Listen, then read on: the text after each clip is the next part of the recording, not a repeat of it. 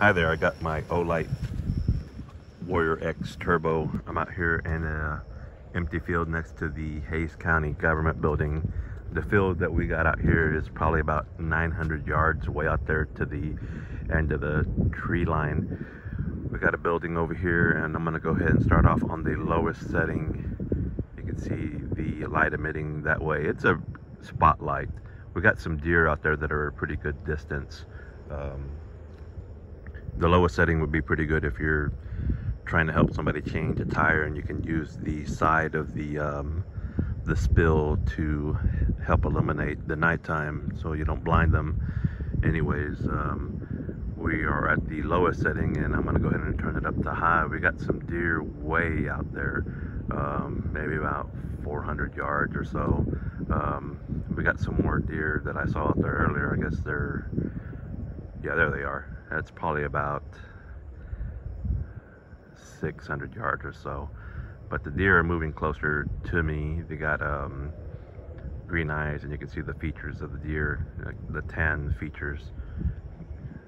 You got the end of the donut over there the cul-de-sac the Hays County Communication Center that they're building in the back back there. Uh, Warrior X Turbo. Um, got some other stuff that other animals I can see running around. I think I see a fox over there.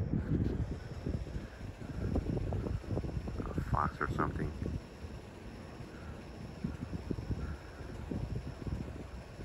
Anyways, you got some light out there. You got some more deer way out there.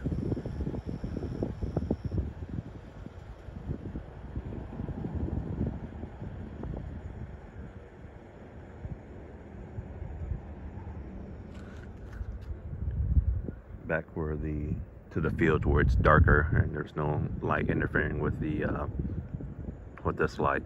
I'm gonna go film in some other locations and we'll see how the light does. Okay, I'm out here in the same field and uh, facing another direction. I got some deer out there. Um, I got still some ambient light behind me so I can see uh, what's going on. I'm not gonna get too close to the field. I don't want no snakes coming at me anyways um, I got the flashlight the Warrior X Turbo on the lowest setting and we got some deer out there moving around. I'm gonna go ahead and turn it on turbo and you can see more of the deer uh, a lot more easier. Pretty good herd out there. Um, got some way out there. Um, pretty good spotlight on the turbo setting batteries can last a pretty very long time.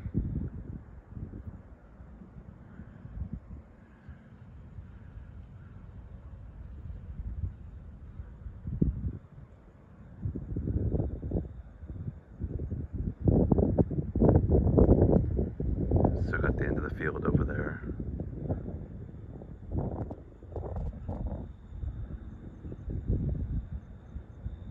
Alrighty, I'm gonna go film at some other locations and I will be there in a bit.